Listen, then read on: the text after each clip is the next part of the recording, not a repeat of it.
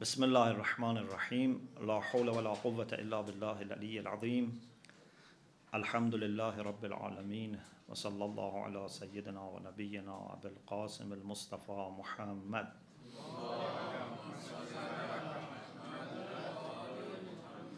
وعلى آله الطيبين الطاهرين لا سيما بقية الله في الأرضين أجل الله تعالى فرجه الشريف First we offer our condolences to Imam Mahdi Ajalallah Ta'ala Farajahu Sharif for the tragic event of Imam Ali being stricken by Ibn Muljam.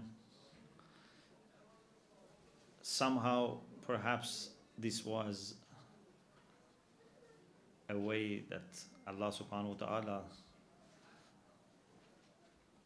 had in his design that commemoration of the night of Qadr and commemoration of Imam Ali should be together.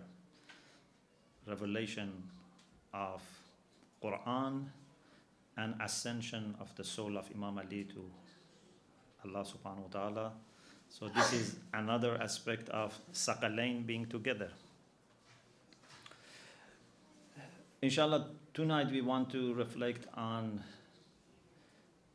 istighfar, asking forgiveness from Allah subhanahu wa ta'ala, and doing things that would, inshallah, lead to being forgiven by Allah subhanahu wa ta'ala. Because the most important thing for us to achieve in the months of Ramadan is forgiveness. If we are forgiven, then we can hope that other things would come and inshallah would benefit. If you are not forgiven, our du'as would not be accepted, and also nothing would be useful if you are not forgiven. If you are going to go to hell, then what is the benefit of other things? So this is a haja, this is a request that if Allah gives, then everything else, inshallah, would be coming and would be making sense. If this is not achieved, then we have very, very serious problem. Tonight, what I want to do is not only to talk about istighfar, but also to mention other things that Ahlul Bayt salam have taught us that they also would lead to the sins being forgiven. And it's very good if we remember and benefit from all of them. So, everything inshallah I'm going to say is based on hadith from Ahlul Bayt and I hope that inshallah you would uh, remember and maybe you can take note and inshallah then we should work on these things so that inshallah we make sure that we have many different ways for seeking forgiveness. One of the things that we have in our hadith and it's very important, very fundamental, is that if we have proper aqidah, if we have proper understanding of Tawheed, not in a just theoretical sense, if we are a real muwahid, if we believe in theory and also we implement in practice that only Allah is our Lord, this by itself can lead to forgiveness. Rasulullah sallallahu alaihi wasallam said, والذي بعثني بالحق بشيرا ونذيرا by the one who has raised me truthfully as a giver of good news and as a warner لا يعذب الله بالنار موحدا أبدا Allah is not going to punish a real believer in Tawhid, a real monotheist. If someone is real muwahid. You know, Rasulullah himself used to say, قُولُوا لَا إِلَهَ إِلَّا اللَّهِ تُفْلِحُ Is it possible someone who has achieved falah to go to hell? Imam Raza alayhi salam said, Kalimatu la ilaha, quoting, of course, Hadith Qudsi, finally from Allah. Kalimatu la ilaha illallah hisni, faman dakhala hisni, amina adabi.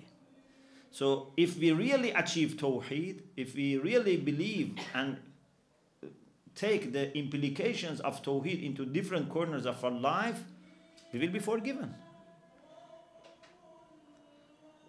وإن أهل التوحيد يشفعون فيشفعون those who are really people of Tawheed they will receive shafa'ah they will receive shafa'ah so it means that me and other people who have rights of shafa'ah will do shafa'ah for them so it's very important to improve our understanding of aqidah especially our tawheed and take its practical implications to our life. So this is a very important point. Another thing is asking Allah subhanahu wa ta'ala for forgiveness. This is most obvious thing and we all are more or less familiar with this. Rasulullah sallallahu alaihi wasallam said At-ta'ibu Habibullah. The one who repents is a friend of God. وَالتَّائِبُ مِنَ الذَّنْبِ كَمَنْ لَا ذَنْبَ لَهُ The one who returns towards Allah from a sin which he has committed, which has damaged his relation with God, he is returning back to God to restore the damage he is like a person who has no sin. He's like the one who has no sin. So, to go back towards Allah, to do tawbah, to repent, is the second cause for forgiveness. Inshallah, if I have time, I come back to tawbah and talk about it more. If I don't have time, then maybe inshallah another occasion. What is the meaning of tawbah? The third thing which leads to forgiveness is remembrance of Allah. Sins darken our heart, they bring pollution to our heart. Remembrance of Allah removes the dirt and polishes the heart. So it's taking away the impact of the sins. Rasulullah sallallahu alaihi wasallam said, "Ma jalasa qawmun." I hope our session, inshallah, is one of the examples of this hadith. Ma jalasa qawmun yadhkurun Allah. There is no group of people who sit remembering Allah. We are here now remembering Allah subhanahu wa ta'ala إلا نادى بهم مناد من السماء There is no group of people sitting remembering Allah except someone from heaven will call an angel. We cannot hear right now, but the angel is making the call. Rasulullah has informed us about this, but unfortunately we cannot hear it. We cannot see the angel, we cannot hear the voice. But the call is made. قوموا فَقَدْ بَدَّلَ اللَّهُ سَيِّئَاتِكُمْ حَسَنًا The call is that when you go out from this meeting, Stand up while Allah has transformed your bad deeds into good actions. Tabdilu sayyat bil. So a group of people who sit together, remember Allah subhanahu wa ta'ala, reflect on their relation with Allah, do tawbah, try to improve their relation with Allah. When they want to leave this majlis, inshallah their sins are forgiven and they are actually transformed into good deeds. وَغَفَرَ لَكُمْ جَمِيعًا Allah has forgiven all of you. So inshallah, we have this also in addition to our istighfar as a reason for being forgiven. Another thing is Salatul Layl. Salatul Layl is very important and inshallah at least in the months of Ramadan, we should really try to do Salatul Layl. Salatul Layl is one of the things that is bringing Allah's mercy and love and forgiveness. There is a hadith which says, إن صلاة المؤمن في الليل تذهب ما عمل بالنهار من السيئات والذنوب. when a servant of Allah says Salatul Layl, does tahajjud, this takes away the sins that he might have done during the day. So Salatul Layl is very important. Another thing which is very important and always I mention in the nights of Qadr is in the night of Qadr we should be critical of ourselves. We should examine ourselves without any mercy for ourselves. We, should be really critical of ourselves and if there is any problem in my behavior, in my akhlaq, I should blame myself and I should try to correct myself. If we come here, you know, and say, Alhamdulillah, I'm a very good person, a very good believer, and just, you know, I come here as a formality, no, this is not going to work. We should come to these majalis with the intention of improving ourselves, and when we go out, we should have made vow to Allah subhanahu wa ta'ala that I want to become a better person. If I think that I'm going to be the same person, so what is the point? So you are perfect? If you are perfect, why you are coming here? For sure, everyone has problems. We have problems in our behavior, in our practice, in our treatment of people. We want to use this opportunity to reflect to examine ourselves, if needed, to blame ourselves and make the decision to change ourselves and become a better person.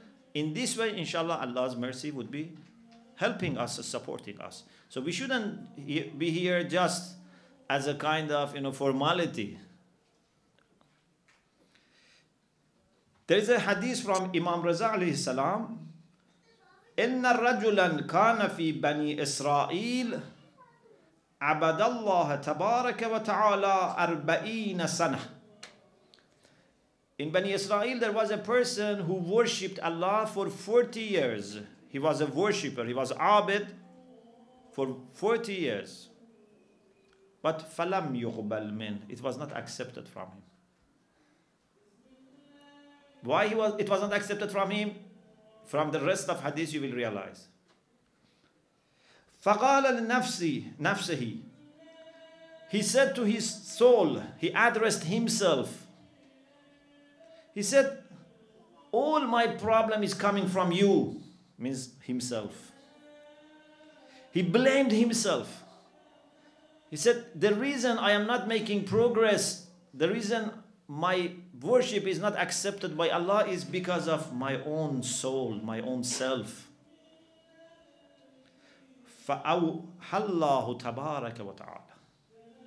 Then Allah inspired him, sent a message to him. Look at this. ذمك نفسك أفضل من عبادة أربعين سنة. This fact that you blamed yourself now is better than 40 years of ibadah. Because you were worshipping me for 40 years while you were thinking you are a good person. You had self admiration. You were pleased with yourself.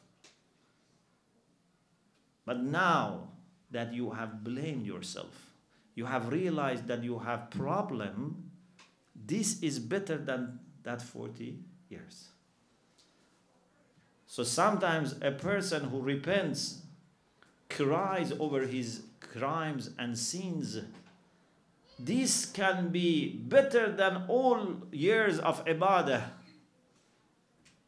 because this is with broken heart. This is with being not pleased with himself.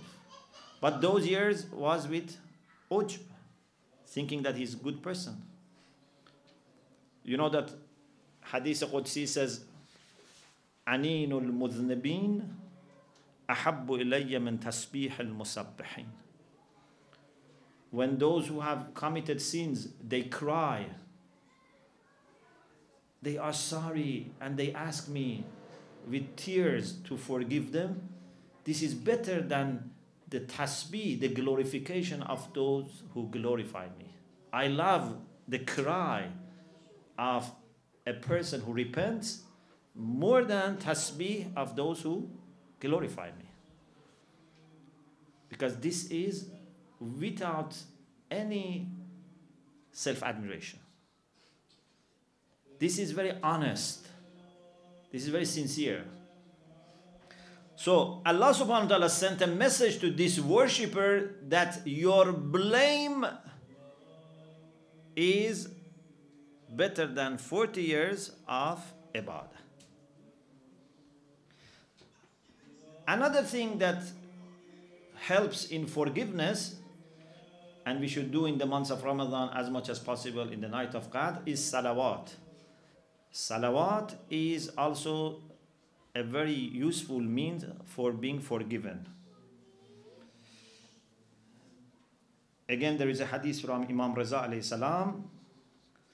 من لم يقدر على ما يكفر به ذنوبه فليكثر من الصلاة على محمد وآل محمد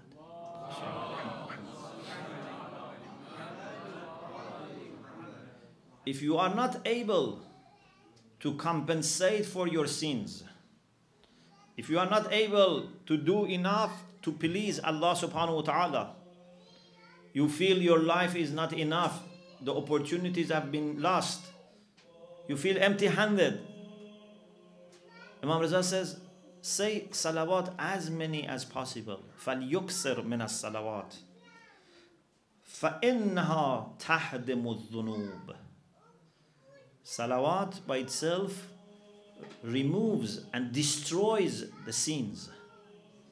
Because again, salawat brings light and light removes darkness. So salawat is another thing. The other thing is love for Ahlul Bayt alayhim love for good people, love for true and close servants of Allah leads to love for Allah, leads to love for piety, leads to change and transformation. If we really love Ahlul Bayt, we try to become like them. Imam Raza quoted Rasulullah sallallahu alayhi wa sallam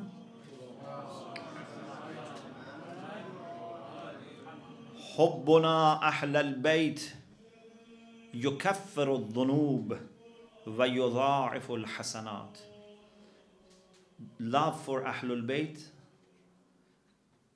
leads to forgiveness of the sins and multiplication of good deeds.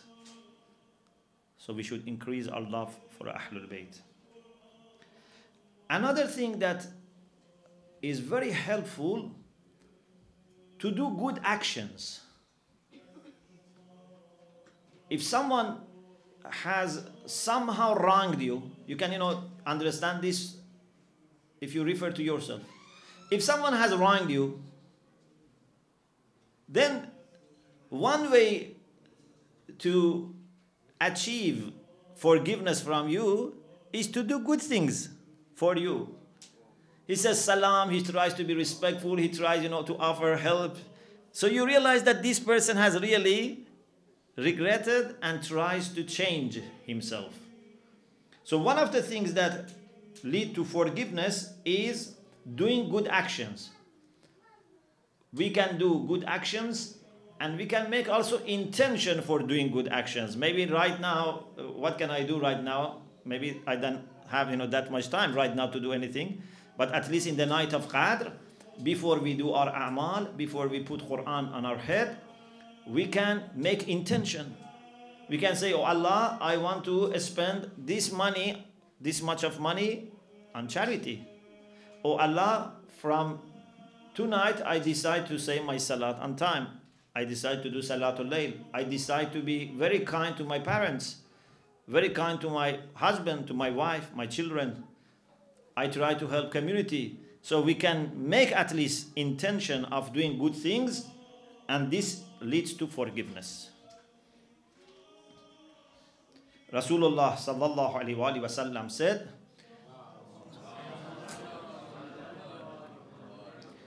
إذا عملت سيئة فَعْمَلْ حَسَنَةً تَمْحُوهَا If you, God forbids, commit a bad action, do something good, this would wipe it out.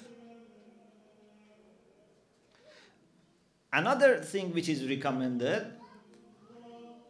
is to go to sajda and to go to the place of ibadah, like going to mosque.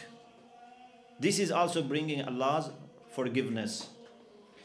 Imam Sadiq said to a person, sorry, Imam Sadiq alayhi salam said that a person went to the Prophet and said, Ya Rasulallah, kathurat dunubi. My sins are a lot. وَضَعُفَ amali, But my action are not enough.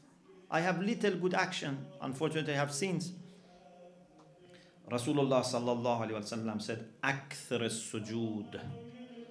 Try to be doing more sajda, more frequent and longer sajda, because sajda is the nearest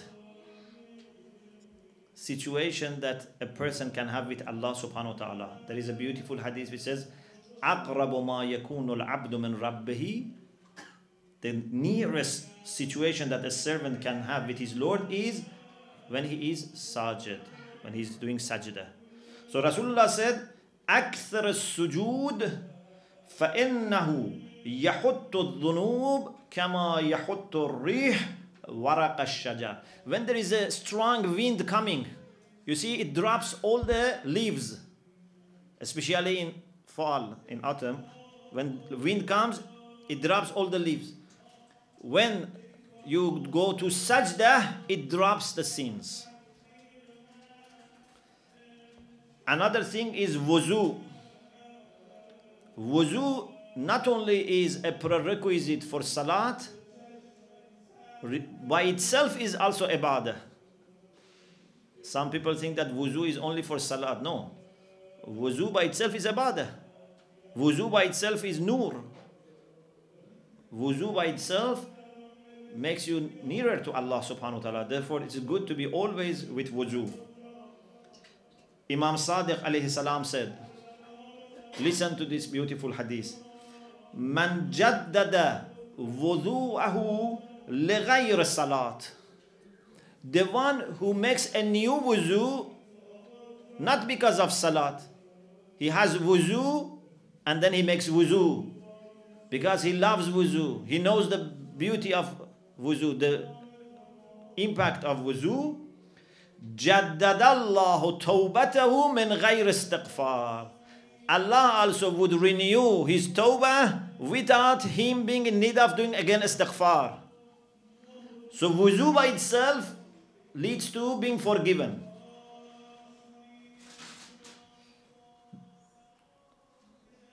So far I have mentioned 10.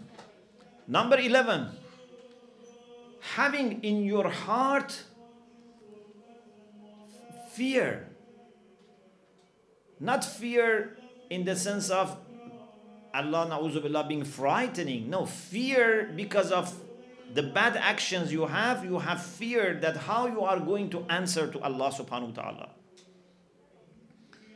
Rasulullah sallallahu alayhi wa sallam said, ما من مؤمن يبكي من خشية الله تعالى إلا غفر له ذنبه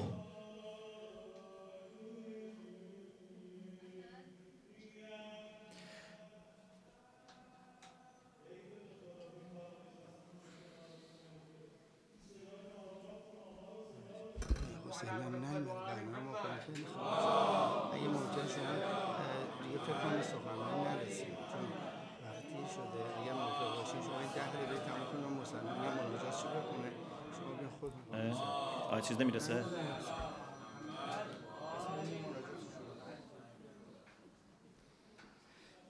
ما من مؤمن يبكي من خشية الله تعالى إلا غفر له ذنبه There is no believer that he has fear and he feels very humble when he thinks about Allah subhanahu wa ta'ala and he cries except that his sin is forgiven. وإن كانت أكثر من نجوم السماء even if his sins are more than stars of the sky وعدد قطرات البحار even more than the drops of water in oceans when Allah sees that a person is honestly trying to change and he is crying then Allah doesn't ask how many sins you have committed, what have you done in the past. يغفر الذنوب جميعا يا عبادي الذين أسرفوا على أنفسهم لا تقنطوا من رحمة الله إن الله يغفر الذنوب جميعا Those who want to be cheating and deceiving, Allah is very strict with them. For every sin they have to be giving answer they have to be questioned maybe punished. This is for the people who don't want to change. They want to cheat. They say astaghfirullah but it's not honest. But if someone really wants to change and he is himself blaming himself he's not waiting for allah to blame him or question him. He is blaming himself then allah doesn't say how many sins you have committed. Allah will forgive all his sins. Even if they are more than stars in the sky and drops of water in ocean.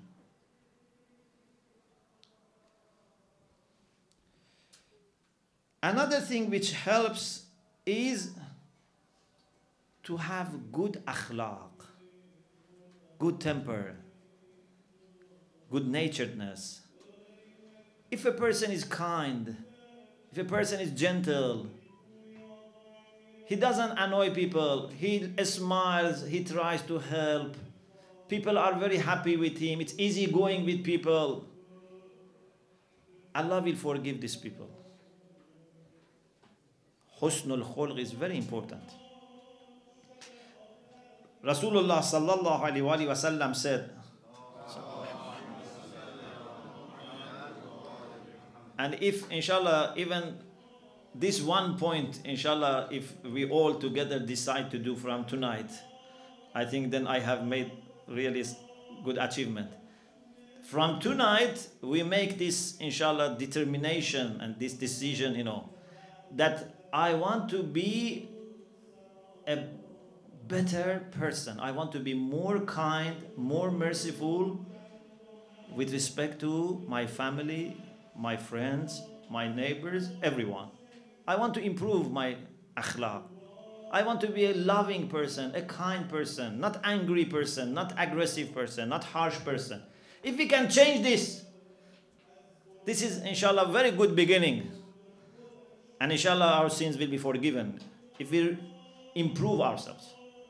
But if God forbids I think that by coming to majalis and you know doing some a'mal and shedding some tears, then I go back and annoy my husband or my wife or my children, my family, my friends. When I go to shop, I cheat people. You know, this is not going to work. Husnul khulq is very important. Rasulullah sallallahu alaihi wasallam said, "Innal إن الخلق الحسن يذيب الذنوب كما تذيب الشمس الجمد good temper good akhlaq melts the sins like sun shining on snow on ice and melting that so this is the impact of husnul khulq. وَإِنَّ الْخُلْقَ السَّيِّئِ But if someone has bad temper, لا يفسد العمل كما يفسد الخل العسل it would corrupt your good actions like vinegar corrupting honey if you have best honey but you add vinegar it will corrupt it so if your salat is good your zakat is good you know you do lots of good things but you have bad akhlaq no one wants to be with you. Everyone is afraid of you. This is not good. You know the story of the companion of the Prophet and how Rasulullah himself took part in his funeral, put him in the grave, and you know, said salat over his body. And his mother said, MashaAllah, you have such an honor that Rasulullah is, you know, doing all this. You are going to heaven, and it said Bashara for going to heaven. And Rasulullah said, No. He has pressure in grave because of bad akhlaq. He was a companion of the Prophet. Prophet was in his funeral, and even Prophet said that the angels of Allah are here in this funeral.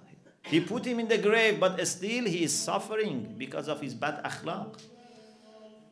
What we have, we don't have prophet with us, we don't have angels, you know, we don't have any those things. We don't have that uh, merit of being a companion of the prophet, being one of the people who have took part in all those difficult, you know, battles.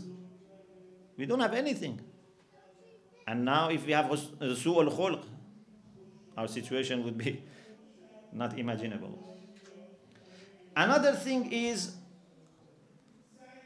fasting in the months of Ramadan, especially, Allah subhanahu wa ta'ala in the months of Ramadan, in every night, forgives many, many people. And then in the last night, in the night of Eid, equal to every uh, person, number of every people who have been forgiven, He forgives in the last night.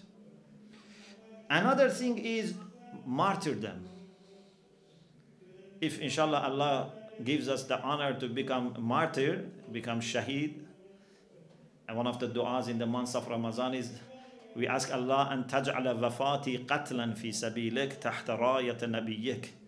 Inshallah, if Allah gives us this honor to be killed and give our life for His sake whenever He wants, martyrdom is also leading to forgiveness.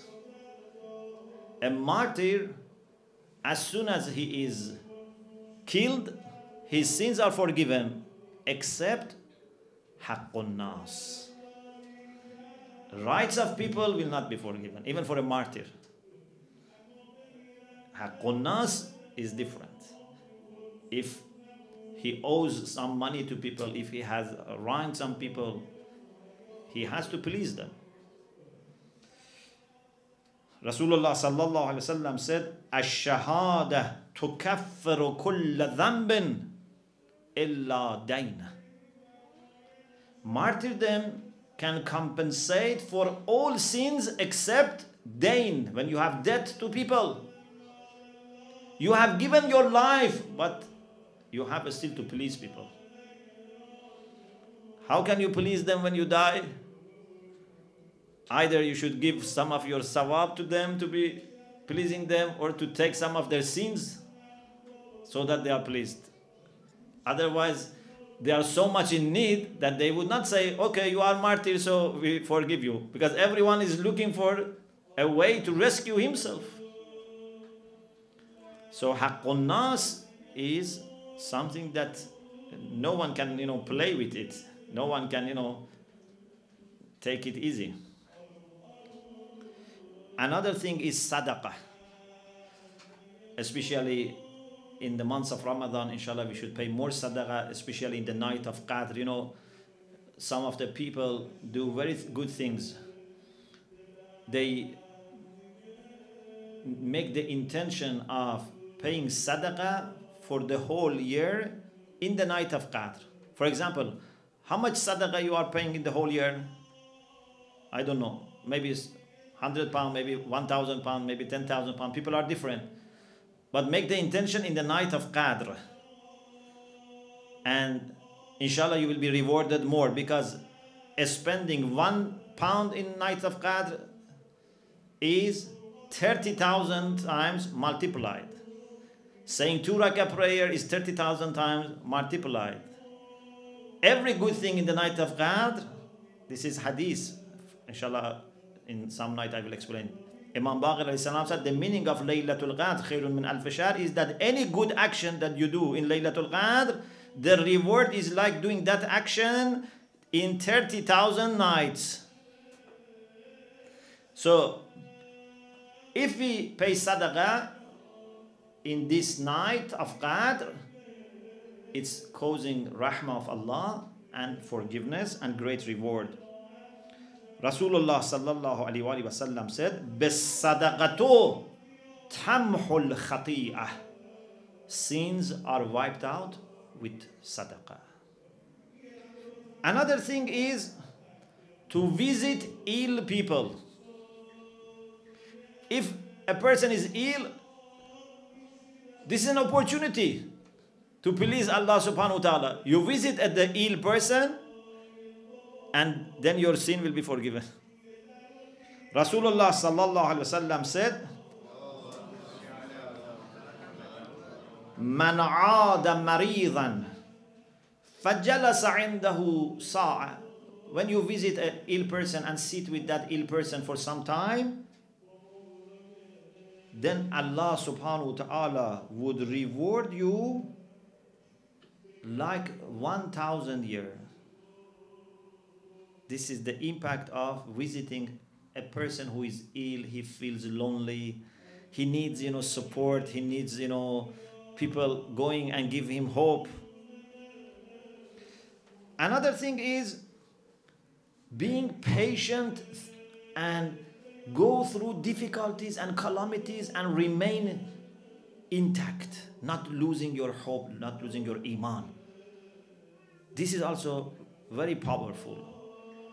So if God forbid you have illness, if you have family problems, if you have problem with I don't know children, with your work, with your business, okay, it's very difficult, very painful, but at the same time, this can be leading to forgiveness. So it's in a sense working in your favor. Imam Raza salam said, Al-maradu lil-mu'mini tathirun wa rahmah when a mu'min becomes ill and suffers, this suffering is for him tathir, purifying him. The sins will be removed. Warahmatun is a source of rahmah, mercy. And then Imam after some time said, وَإِنَّ الْمَرَضْ لَا يَذَالُ بِالْمُؤْمِنِ حَتَّى لَا يَكُونَ عَلَيْهِ ذَنْبٌ Sometimes this illness remains till no sin is there. The illness continues till he is completely forgiven. And finally, thinking, contemplation. Did you know that even contemplation can lead to forgiveness? When you think about your life, what you are supposed to do, your relation with Allah, about your problems, your sins, how you can serve Imam Zaman, this thinking and contemplation by itself is leading to forgiveness.